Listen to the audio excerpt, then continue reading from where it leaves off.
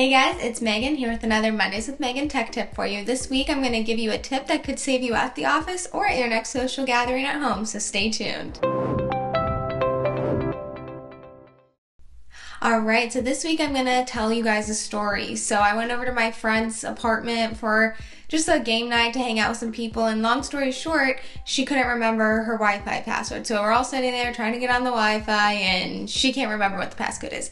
So go to qrstuff.com and you can actually make a QR code for your home Wi Fi settings. Hopefully, you have a guest network set up, um, and it's as simple as your friends just scan the QR code.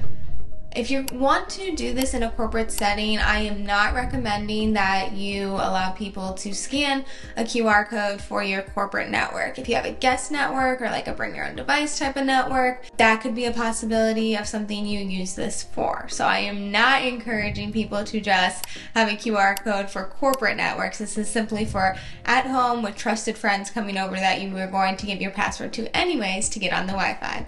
I hope this tip saves you saves you some time at your your next social gathering, or it's just really cool, so why not do it?